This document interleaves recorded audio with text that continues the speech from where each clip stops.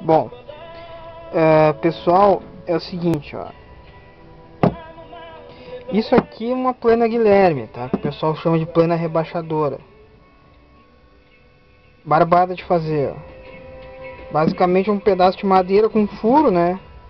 Faz o ângulo ali, corta com a tico-tico aqui. Abrir a abertura para sair o cavaco da madeira, né? Faz uma cunha meia tosca assim mesmo, só para colocar e o ferro, ó. O ferro tem aquele rebaixo ali, ó. Não sei se vocês estão vendo, ó. É um rebaixinho que tem aqui, ó. Ele rebaixa aqui e vai mais fino para dentro da, da, peça, né? E aqui que ele fica mais largo, ó. Tá? Aqui tem uma plana que eu fiz muito tempo atrás, acho que deve ter uns 12 ou 10 anos, coisa assim. Né? Essa aqui é em pau-ferro. Isso aqui é cópia de uma outra plana aí, de um, de um ex-patrão meu italiano aí. Mas é barbada também, ó. É o corpo tal. Abre com a furadeira aqui. Dá uns acabamentos. Faz a. Isso aqui é o pó que tá saindo dela, uh, faz o acabamento pra ela entrar certinho aqui apertando o ferro, né? E aí o ferro tem a capa ali, ó. É o ferro. Né? A lâmina em si, ó. E aí tem uma capa, não sei se vocês estão vendo, ó. Que nem a plana normal. Tá? E aí as mini planas é um pouquinho diferente, ó. Ela é, na verdade, duas madeirinhas de 0,9 aqui, ó. 0,9 milímetros. Aí tu faz dois taquinhos, um com ângulo de uns 15 graus aqui, tá?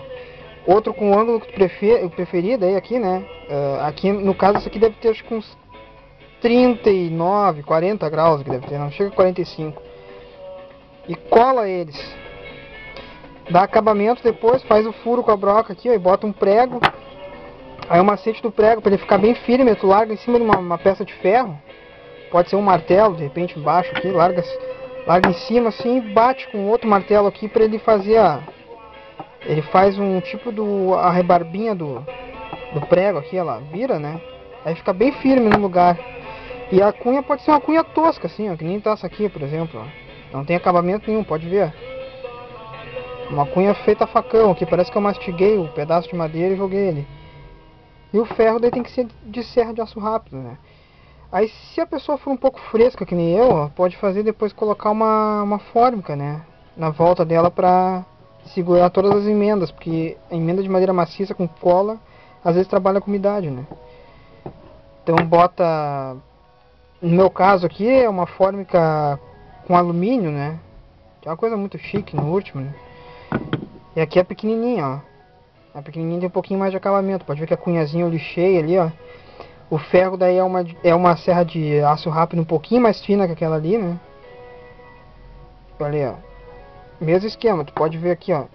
Duas pecinhas de angelinha, ó. Essa aqui é de 0,6 ainda. Acho que é um pouquinho mais fina. Um taco aqui e um taco aqui, né? Cola tudo, deixa colando da noite pro dia.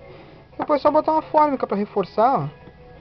E também porque fica mais resistente aqui embaixo a parte da que, que tem o um atrito com a madeira, né? E aí tem uma, um macete muito tecnológico aqui, que o pessoal antigamente usava, que é a incrível cera uh, parafina de velas coloridas. Ou se a pessoa não acreditar muito em vela colorida, tem a vela também aqui, ó, uh, incolor. Aí o que acontece? Tu passa aqui, né? Cada vez que tu for usar, tu passa. Deixa ela bem... Passa bastante ali e tal, né? E aí tu vai passar, ela fazer um barulho, ó. Ela vai fazer esse barulho. Se ela fizer um barulho diferente, mais grave, tá, é que sinal que tá faltando parafina para lubrificar ela. Bom, acho que de mini plana é isso aí, plana de madeira. É tudo umas coisas meio feita uh, sem muito luxo, assim, o pessoal pode ver, ó. Não é uma coisa, não é uma coisa linda, maravilhosa, assim, mas funciona.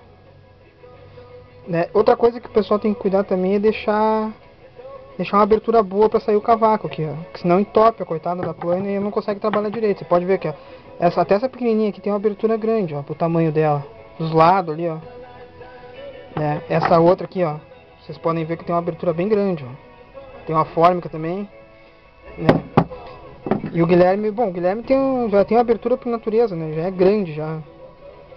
Né? E, e o detalhe, né? Essa mesa do Guilherme tem que ser um pentelésimo menor na altura que essa aqui. Por isso que essa aqui tem a forma que essa aqui não tem. Ó. Porque senão ele, ele, ele, não come, né? Isso aqui é uma plana, na verdade, para comer, pra fazer rebaixo mesmo, para detonar com. pra usar mais esquadria, né?